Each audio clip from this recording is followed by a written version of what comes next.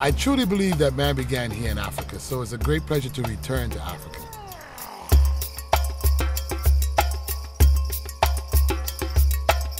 I know from what I experienced, it was earth shattering for me. What Leon Mobley was doing here with this group today was teaching them how to connect way beyond these borders. On our travels, we did community outreach, poetry workshops, motivational speaking, curriculum development, recording sessions, and performances. It was a lot of work for just the two of us. The embassies and their staff helped us to adapt to different cultures.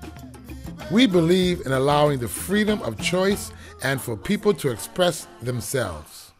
This experience for myself, coming from a different culture, gave me depth as an artist, and it should be shared. Bella, you could, you could,